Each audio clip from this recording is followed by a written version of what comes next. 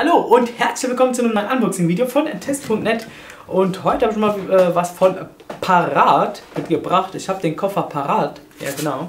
Hierbei handelt es sich um das Modell Silver und am besten müssen wir jetzt mal gerade mal diesen Koffer hier aufmachen, aber Armin ist überfordert.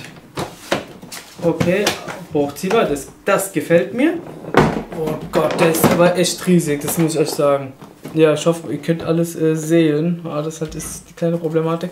Und dehnbare in der Tasche. Und hier ist Platz für alles Mögliche. Und wenn ich es jetzt genau betrachte, handelt es sich um einen Werkzeugkoffer. Und da passt auch wirklich alles rein. Von äh, Bohrmaschine bis Schraubendreher, alles möglich. Da passt sogar eine Flex mit rein.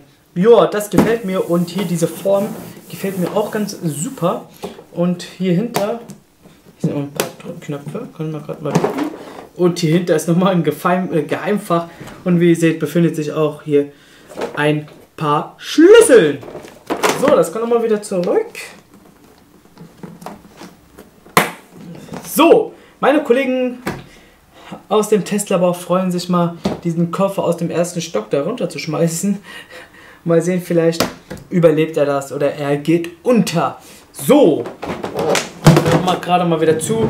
Und so ein netter Nebeneffekt hier, dieser hat Rollen und der kann ganz einfach mal gerollt werden ohne Probleme.